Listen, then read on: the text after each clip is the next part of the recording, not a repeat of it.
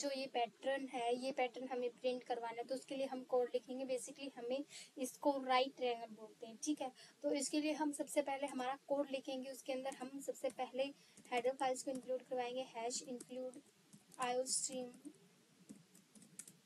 using namespace S T D namespace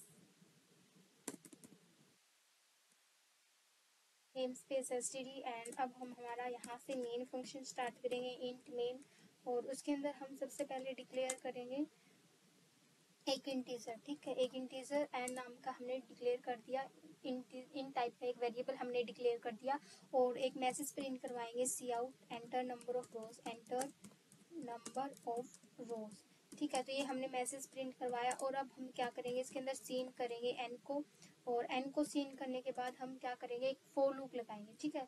जो पहला for loop होता है, हमारा for int I equals to one ये हमारा रोज के लिए चलेगा, ठीक है? I less than equals to N और आई प्लस प्लस ठीक है? फिर सेकंड लूप लगाएँगे, वो हमारा कॉलम के लिए चलेगा for int j equals to one और मतलब फ़र्स्ट सबसे पहले हमें क्या करवाना है? सबसे पहले हमें स्पेस प्रिंट करवाना है ठीक है? तो स्पेस कितने में प्रिंट करवाना है? मतलब पहले आ, जैसे मेरे पास पाँच रोज हैं तो मतलब चार कॉलम का स्पेस प्रिंट करवाना है एंड फिफ्थ कॉलम में हमें रो प्रिंट करवानी है।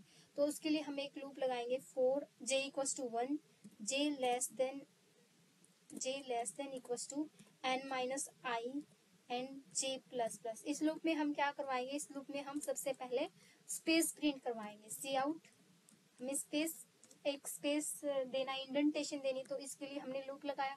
फिर हमें स्टार के लिए हम इसी फोर वाले लूप के अंदर, जो रो का लूप है, उसी के अंदर एक और लूप लगाएँगे। For int K equals to one int k equals to one and k less than equals to i और के प्लस प्लस ठीक है? तो ये ये वाला लूप क्या करेगा? जो स्टार है, वो प्रिंट करेगा।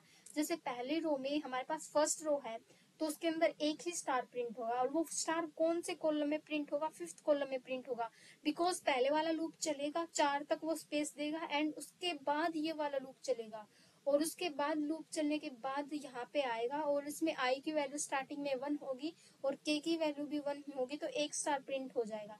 ठीक है तो इसके अंदर हमने प्रिंट करवाना है स्टार ठीक है, हमने इसके अंदर स्टार प्रिंट करवाना है वो हमने करवा दिया और उसके बाद हम, हमारा काम खत्म, पहले दोनों लूप का काम खत्म मतलब हमारा कॉलम का काम खत्म तो हमें नेक्स्ट रो में जाना है। तो नेक्स्ट रो में जाने के लिए हम सी आउट एंडल कर देंगे और लास्ट में हम रिटर्न करेंगे ज़ीरो ठीक है तो लास्ट में हम रिटर्न करेंगे ज़ीरो तो हमें यहाँ पे रिटर्न करना है ज़ीरो को रिटर्न करना है और अब हम हमारी फ़ाइल को सेव करेंगे, ठीक है?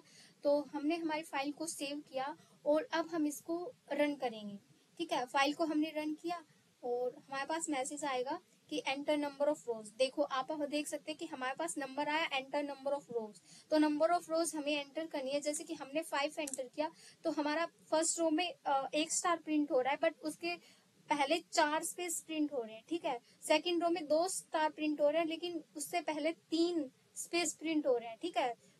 वैसे ही थर्ड रो में तीन स्टार प्रिंट हो रहे हैं बट उससे पहले टू स्पेस टू स्पेस आ रहा है, ठीक है?